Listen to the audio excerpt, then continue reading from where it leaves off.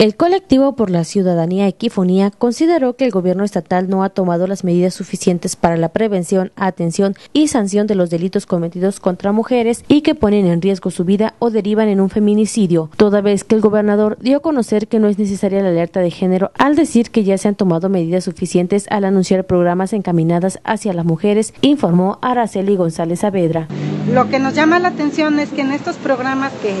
que se han estado anunciando en las últimas semanas y que se, retoman al decir que no es necesaria la alerta, no se incluyen a las dependencias que son claves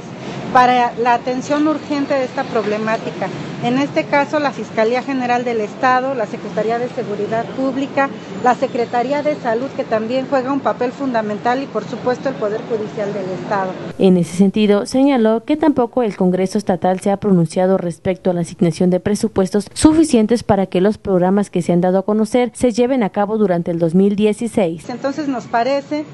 que hacer este tipo de anuncios sobre los programas sin que vaya relacionado o articulado con lo que ya comentamos, solo está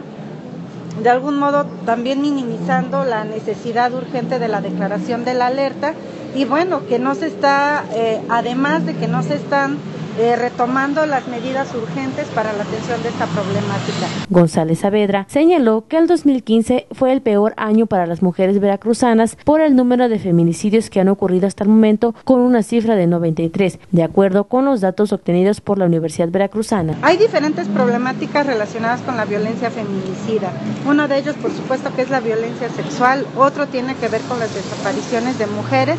y ya los homicidios, digamos los, los feminicidios que han ocurrido hasta el momento, bueno, por supuesto que son el indicador principal de esta problemática y de acuerdo a la Universidad Veracruzana son 93. Por lo que consideró que las acciones que las autoridades estatales han implementado es una forma de generar confusión con respecto a la gravedad de la problemática para evitar que la alerta de género se emita, aun y cuando es urgente que se active la alerta en Veracruz, informó para OYTV Telmetzel Miranda.